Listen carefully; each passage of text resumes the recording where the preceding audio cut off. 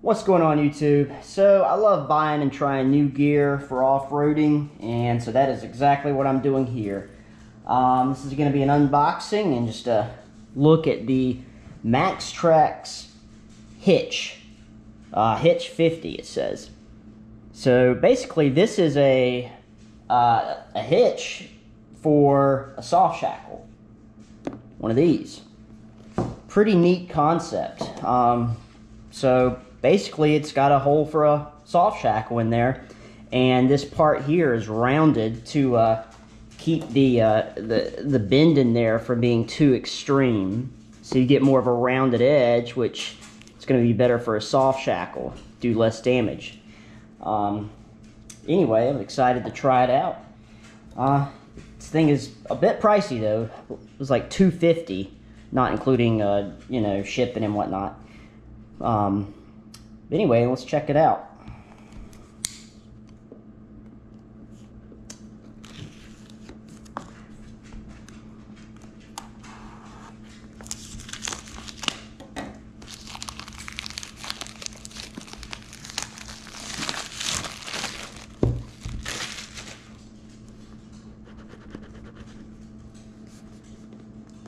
It's like opening an iPhone or something, jeez.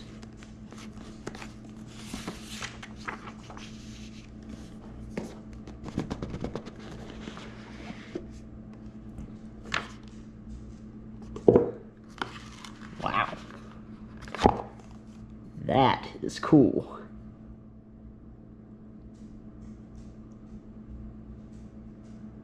Working load limit of 19,400 pounds.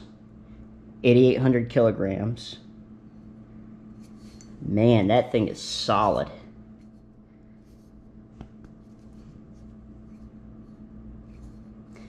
Anyway, you see how it has that, it's almost like a ball is on the end there for, specifically for that soft shackle.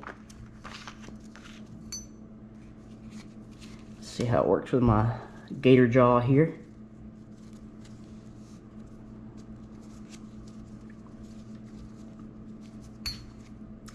pretty cool.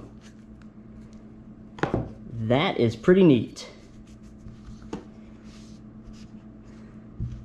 So I right now I have um, monster hook, uh, the swivel hook on the back of the Jeep, and I mean that works fine and all. But what concerns me about that is the hook. Whenever it's extended, um, like let's say the hook is laying in this like this, and when you put um, a line on it or something, it's going to go out here. Well, if you have any side low at all, that's going to put a lot of stress on it this way. And it's not really designed for that. It's made to, you know, be pulled straight back. That's where the soft shackle comes into play here. This, you can really, you're not going to side load a soft shackle. It's you, you can, you know, it's okay if it's got some downward pressure, upward, side, either side, or straight back, it's going to be fine. And uh, this thing is definitely solid, so... I mean, I'm not going to go out and purposely get stuck, but, you know, if I do, I will be sure and record that. Um, now, you do also have, like on my Jeep, I have two uh, places with um, some bow shackles on the back, but they're not centered. So, you know, this is centered, which, I mean, it may not matter, but I like to have options, and I like buying cool new gear. So, anyway, if you were wondering what this thing looks like, it is, it is pretty cool.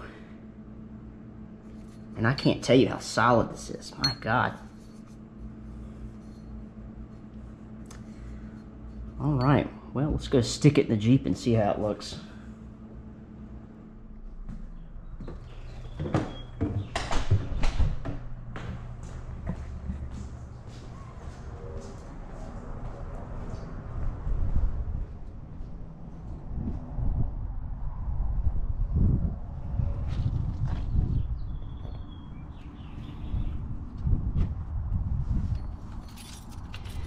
see if I can remember what key goes in here.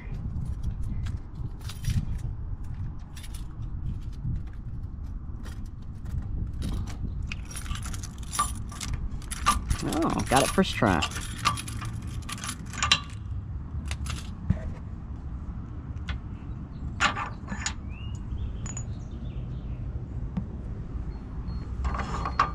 Oh, just to show you what I was talking about. Well, let me not lose that little O-ring as I let it wander away. Anyway, what I was talking about what side loading is, I mean, I don't know how this thing may be strong enough to take it, I don't know, but you basically you don't want a lot of pressure pulling going that way. You want the pressure going straight back. And, you know, a lot of those hitches with the, the bow shackles on the end, you can turn them this way, and that way you have movement side to side, kind of like this, but you don't have any upward or downward movement without, you know, putting pressure on that pin there. And obviously this one doesn't even have a, you know, holes for mounting uh, like that. But this guy, you don't need it. Could go, oh, nope. We'll have to do that, uh, that hole right there then. The other one, I just don't not quite enough. It bulges out here and prevents me from going further. So we'll just do right there.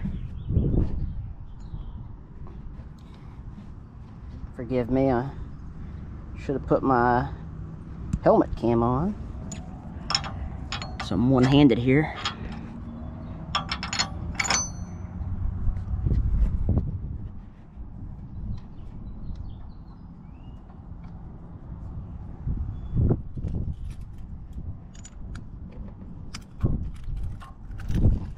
If you're looking for a locking hitch pin, I think this is called Infinite Rule or something, and I love these things. They, it has held up way better than any other locking hitch pin I've had. Don't rust or anything. Very solid. All right, let's see how that looks. Well, it looks like a big silver thing sticking out the back. I don't know if I'll leave that like that or maybe just carry it in the back. But here's where this thing comes into play.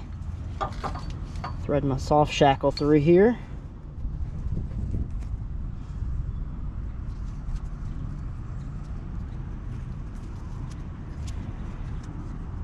Easier said than done one-handed. There we go. All right. And there we go. Now we have a recovery point in the center. Hindered not by any side loading or anything.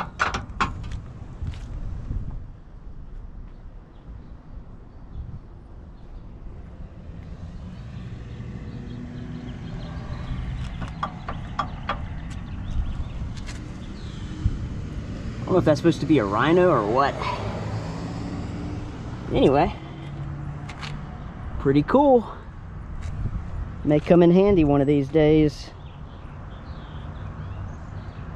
Alright guys, thanks for watching. If you have any questions about my overpriced hunk of aluminum here, let me know. Thanks for watching.